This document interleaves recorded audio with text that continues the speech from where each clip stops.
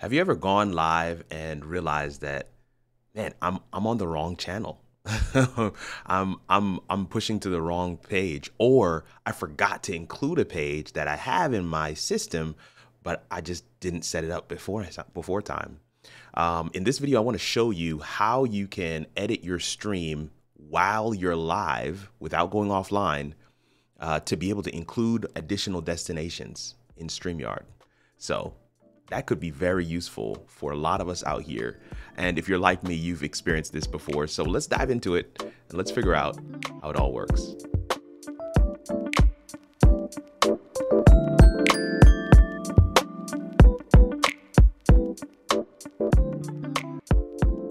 I'm Kirk Nugent, and I teach small businesses, faith based entities, and entrepreneurs how to simplify live video mechanics so they can shine a floodlight on their brand. In this video, we're going to look at adding destinations while live. While live. Let's look at it. So here we are on my desktop uh, looking at StreamYard. Uh, we are live already on my YouTube page. All right, so I'm going to just zoom in on this real quick, highlight this real quick. Right up here at the top, you can see that green check part mark lets you know that you're live on your YouTube page. And another thing I want to say here is that sometimes you have your destination set already, but some of them don't quite go live. Um, I've seen that happen before. And so sometimes you just come in here to the edit button right here, uh, to this edit button right here, to, and we click the edit and we can turn a destination off save, and then turn it back on and save it. Um, that will help to to kick it off again. So I'm just since I'm already live, already live on my YouTube page, I'm just going to add an additional page. I'm going to add this page here. Nobody's going to be notified. I'm going to add click that just to add it. You get a chance to look at the title, change the title, edit the title and the description, and then we just click save changes to add that destination. Of course, StreamYard does rec- require, uh, sorry, Facebook does require a description. So you want to make sure you have that in there. Click save, and you'll see this thing circling in the top here, right at the top. You see that circling. Now it's got a green check mark, right? Now it's got a green check mark. And that green check mark means that it is live on that channel. And so what I'm going to do right here is just click on it and click view on Facebook. And there I am on this page on Facebook. This is the video. This is a already live video where I'm editing um, while live, being able to add a destination. That is so cool. We go back to StreamYard. I can go over to YouTube, view it on YouTube. And there we are live on YouTube as well. So we're live on YouTube, live on Facebook. These are this is a clean and easy way to be able to do this. hoping that you're tracking with. I'm going to show you one more thing, and then we're going to get out of here. I've got a quick video for you today.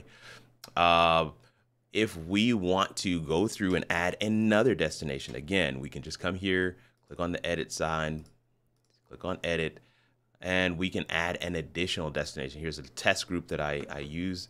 I'm just going to say I've got my description and my title here. It's going to click Save Changes. And again, you see that circling up there, right? That's circling. Once it's done circling, it's live. So we can click there, click View on Facebook and say, all right, continue to Facebook. And here it is in the test group. This video is already live in the test group, which is so cool. So the the the other thing, the uh, the reverse is also possible right? So you go live and somebody says, hey, you're live on the wrong channel. It happens to the best of us. It happened to me. Uh, you can come here and just click on remove. All right, click on the one you want to remove um, and just uncheck it. Delete from Facebook, remove.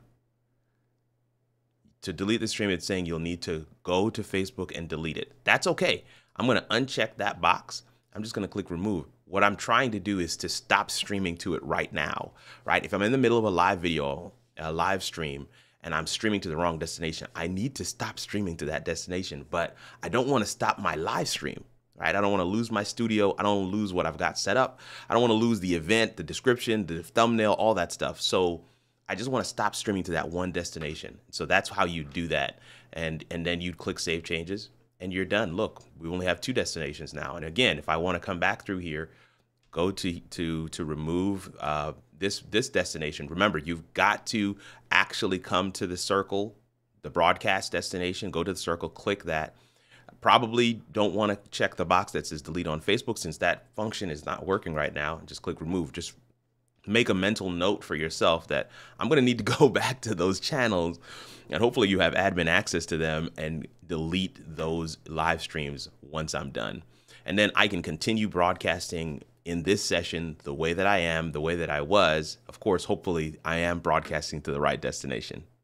Man, sometimes they can be bite-sized, sometimes they be they can be quick, and I'm hoping that this was useful for you want to make sure that these kinds of utilities, right? These these are things maybe you haven't come in come up on this uh, type of scenario yet, right? You maybe you're a little bit more uh, methodical with how you plan your streams, how you how you uh, your schedule your stuff in Streamyard.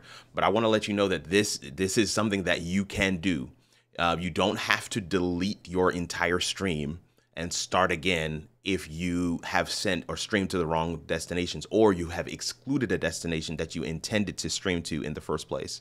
I wanted to make sure that you're aware of that. And I want to let you know that it's actually possible to do this in Restream as well. So look out for a video for that. Restream is what I use with Ecamm. So I'm going to show you how to do it with just Restream Live Studio and how to do it with Ecamm so that you can continue streaming not losing your stream, not losing your guest, not losing any of that momentum, but you can make sure you're actually broadcasting to the right platforms. It's your boy Kirk Nugent, the Geek Speaker Preacher, hoping that somewhere in the video today we got you a little closer to figuring out how it all works. so excited for this journey we're on and excited that you're with us. Hopefully, you've hit that subscribe button already. And if you haven't, we encourage you to do it right now because we got many more videos to come in this journey of live video strategy. We'll see you in the next video.